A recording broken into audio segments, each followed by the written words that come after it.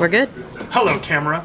Uh, I end up teaching people how to use the espresso machine a lot. So I asked Jennifer if she would record it this time so that there would be a noisy, lots of background noise, confusing, blurry version of this that other people could watch and learn from.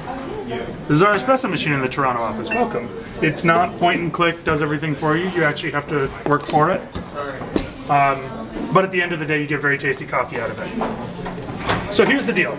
Um, espresso is all about using steam to extract tasty oils from coffee beans. That is the whole thing that we're trying to do. Every little detail that we put into it, you know, a lot of them are superstition, but whether they are or not, they're all about getting oil out of coffee beans and into your cup. And it starts with this.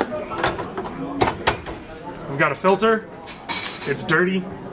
We clean it up. So, one of the things we're told is that the oils on ground coffee, especially when it's ground very fine, like espresso is, uh, start to go rancid basically instantly. You've got like a minute before you start getting off flavors. So what we do is we grind it as we need it, and we just dose it out until we've got lots. You'll notice that sometimes makes a mess, that's okay. So we've got, I don't know how your focus is gonna work there, but we got lots of grinds in there. We have too many grinds in there, but that's deliberate, because we want to make sure that we get a nice even pack by the time we're done.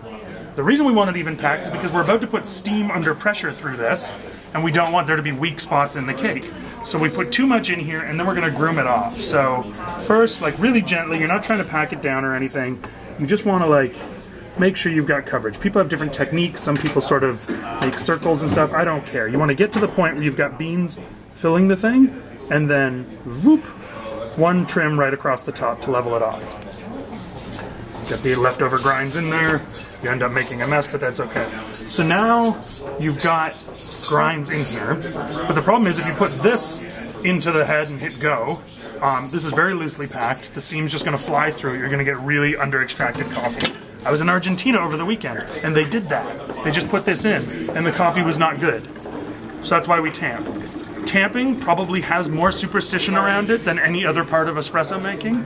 I am not the expert in tamping. I've heard people say you need 20 pounds of pressure. I've heard people say 40 pounds of pressure. My favorite was a person who said you need 20 pounds of pressure, but since my arm isn't calibrated to know what 20 pounds of pressure is, they said, well, don't think of it as pushing down with 20 pounds of force. Think of it as lifting up a heavy cat. Okay. Um, in terms of how you tamp, uh, baristas always give very specific coaching about keeping your wrist straight. Like, don't do like this. You know, straight line up, get your elbow above it, push directly down. And the reason they do that is because they make thousands of shots of espresso per day, and they will get wrist strain if they don't do that. I'm not sure it matters for making one or two, but what you want to do is just push down evenly. You want the puck to be level, so I put my fingers around the rim here so I can feel if it's off one side or the other. But just push down, and that's it.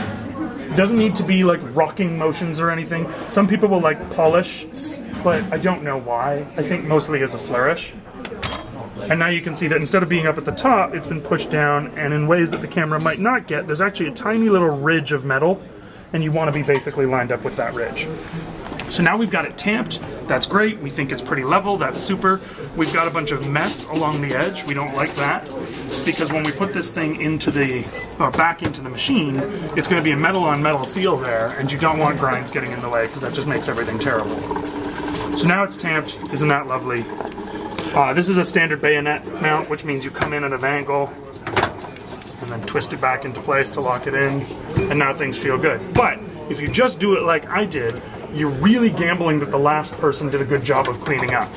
Because if we get under there in ways, boy, I wonder if the camera will see that. There's all kinds of sludge often on the bottom of the head there. Yeah, we don't like that. So usually what we do after tamping is just before you put this head back in, you run that. If it's really filthy, you can like clean it off with a rag. Mmm. because remember, the whole point of what we're doing here is to get oils off of coffee beans. Oils go rancid when exposed to oxygen, so all of that stuff tastes terrible. Um, so we'll lock that back in. It probably made some contact, so this will not be the best shot I've ever made. Now you'll notice this one's got two spouts. Both of these filters are called double filters. That is, they take two espresso shots worth of grinds. One of them's got a single spout and is more useful for making Americanos and stuff. One of them's got a double spout, which is more useful for making friends. Um, Bazang. Put that under there, and then you've got to make it go. Now this machine tries to be very smart. It's got, I want a single short, a double short, a single tall, a double tall. Um, in our experience, all of these run too long. So we always just use the manual, make it stop, make, make it start, make it stop. So I'm going to do that in a second. Um, but first I want to explain what's going to happen because I won't be able to get the words I need to done in the 24 seconds it takes to make this extraction. So when you start, water's going to come through and the water's going to get very coffee colored. That's the whole point. And so when it's coming out, it's going to be brown. But if you look more closely, you'll see it's not monotone because there's all kinds of plant body being extracted out. And since the beans are roasted, most of those things are brown things. And so there's a base coat of like dark, darkish brown. But then inside of it, you're going to see the actual coffee oils, and they'll form little slicks right? Uh, baristas call it tiger striping. So you'll have like a, a creamy espresso base coat, and then you'll have these dark streaks of oil running through it. And you can see it even in the pour, you can see the oil. You can certainly see it in the cup. And at some point, that oil is going to run out. And the second it runs out, you are at you are extracting too much. Now you're just taking out the last of the plant crappy bitterness. You're not getting any more of the happy oils that make us all delighted with this beverage. And so the second that happens and the oil stops flowing, they say that the espresso has blonded. And you want to stop extraction just before it blondes.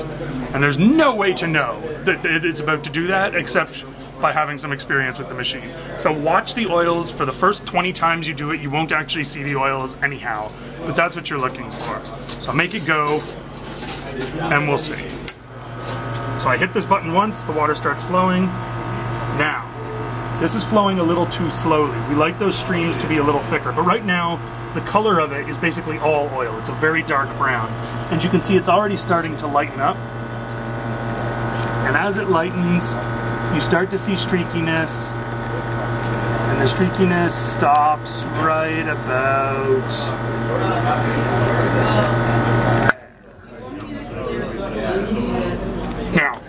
The problem is, this may or may not be a good drink, but if you look, let's get Jennifer to look at this one. You can see the little striping and ridging on there. That's the tiger striping. That's the oils on the top of the crema there. Um, so we know we got those. We don't know if we over extracted it or not, but that's how you make a basic espresso here. And then you're not done until you get rid of this thing in the bucket. Rinse it out, be nice to the next person. They're still gonna have to dry it off, but at least this way you haven't given them something full of rancid and terrible oils. Last piece I'll mention, everything about steam extraction, everything about espresso manufacture in general is around consistency. When you're done with these things, they go back in the machine because the machine is hot and it keeps the metal hot and when you're not doing this in a demonstration capacity, you can do the whole thing, grind and dose and tamp and lock and go inside of about 15 seconds so the metal doesn't lose all of its heat. Because if the metal loses all of its heat, the steam's gonna have to heat it back up and that's gonna totally change the heat of extraction that's actually sucking oil out of the beans. So in terms of consistency, this stays in here whenever possible. There's things we haven't talked about, like how to use the steam wand um, how to steam milk and stuff. That'll be round two. There are simplifications that I'm going to wish I had introduced in this one and details that I realize I've forgotten, but that'll do for a first intro.